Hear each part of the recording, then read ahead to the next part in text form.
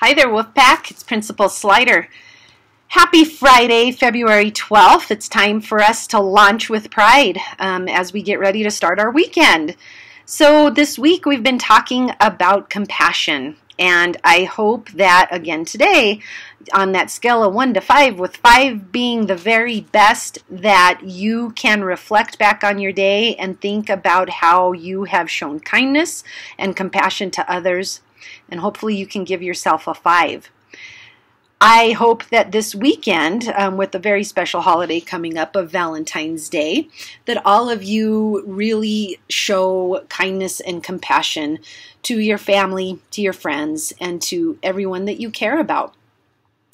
This weekend is Valentine's Day, and I want to wish you all a very happy Valentine's Day. And just to send um, positive thoughts, happiness, and just to let you know how much I love all of you and how glad I am that you are part of the John Adams family. You're part of the Wolf Pack. You are the Wolf Pack.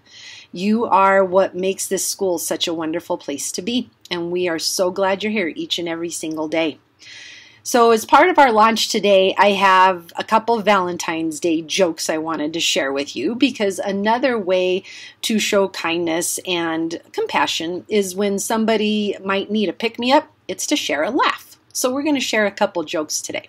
So, here's our first one What do you call two birds in love? Tweethearts. here's one more. What did one cat say to the other cat on Valentine's Day. You're perfect. Ha ha ha ha ha.